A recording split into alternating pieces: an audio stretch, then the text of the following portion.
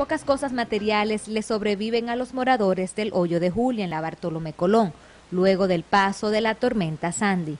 Ahora con estas nuevas lluvias, las miserias vuelven a surgir y los colchones mojados evidencian la falta de seguridad en la que viven estas personas a merced del clima.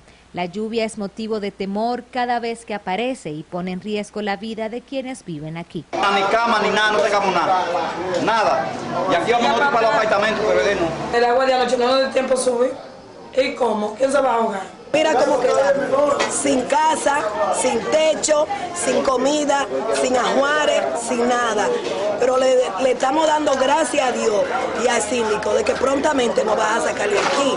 Y confiamos mucho en él, tenemos fe en él primero en Dios y después en el síndico. Gracias. El alcalde Gilberto Cerulle visitó ayer el Hoyo de Julia para mostrar su solidaridad. Reiteró su compromiso de dotar a sus habitantes de un hogar digno y seguro en el proyecto Colinas del Yaque, que actualmente construye la alcaldía de Santiago. Y dijo que mientras tanto alquilaría viviendas para reubicar a estas familias. Imágenes de Jonathan Flores para Página 3, Marielis Tuluc.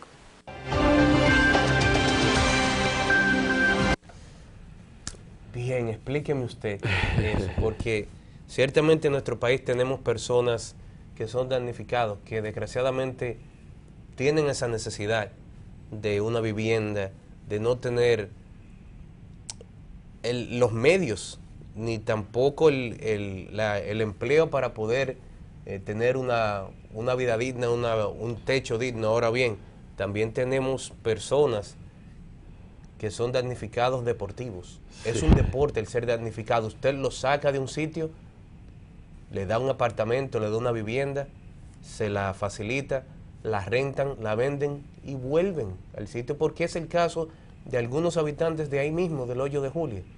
Es decir, que hay que tener cuidado.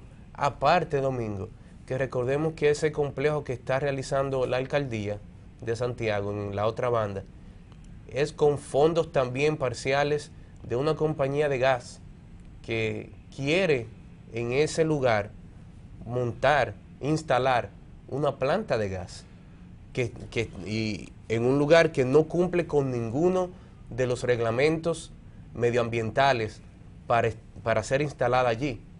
Empero todo eso, el alcalde dio el permiso y aunque el director de medio ambiente en esta zona dijo hace dos semanas que había paralizado la obra para revisar la documentación y revisar la viabilidad de esa obra de la planta de gas allí. Los moradores han dicho que por las noches la, excavadora y otros equipos siguen trabajando, contraviniendo toda la, toda la determinación de medio ambiente. Qué pena que se aproveche la desgracia de esta gente. Sí. Y en medio de esta desgracia, entonces introducir ese elemento ese elemento malsano, que es una planta de gas, en un lugar inadecuado. ese lugar está apenas a 60 metros de, uno de los principales liceos secundarios públicos de aquí, de, Santiago. Está en una zona sumamente habitada. Y qué pena que se aproveche esa, eh, este asunto de esta pobre gente del hoyo de Julia para inventarse un proyecto rápidamente, entonces eh, meternos por debajo de la manga esta planta de gas. Qué pena que, porque de hecho, de por sí, la idea de sacar a esta gente y de ampliar la sabana larga, todo un proyecto de, reforma de, las arterias, eh, arterias urbanas de la ciudad, es interesante, es importante. Claro que sí. Lo malo es que se aprovecha todo esto para meter este ingrediente de una planta de gas en un sitio totalmente inadecuado. Esa es la pena. Pero nada. Eh, ahí todavía sigue esa, esa conflagración, la gente no está en eso, hay muchísima gente, entre ellos eh, don Ramón de Luna, que vive muy cerca de ese lugar, eh, con Minucha, su esposa, y han dicho de que ellos no quieren, no van a permitir que se establezca eso ahí. Esperamos que también el Ministerio de Educación también haga lo propio y se queje de, de, esto, de que esta planta de gas se quiere establecer apenas a, a 60 metros del liceo secundario. Hay escuelas, hay colegios, hay una cantidad enorme de habitantes, hay negocios. Bueno, es el problema que tenemos en la República Dominicana con los intereses. Y el ejemplo de ahí de lo que está sucediendo en el hoyo de Julia es algo que se que básicamente como lo dije, es un ejemplo que nos pone en evidencia lo que está sucediendo en otras comunidades aquí en, en la ciudad de Santiago. Y no tan solo en la ciudad, en la provincia y en diferentes zonas del país, porque tanto en el sur, el este, eh, el noroeste, eh, toda la línea, hay comunidades ciertamente donde caen dos dedos de agua y se anegan viviendas inmediatamente. Una parte del problema es el drenaje pluvial.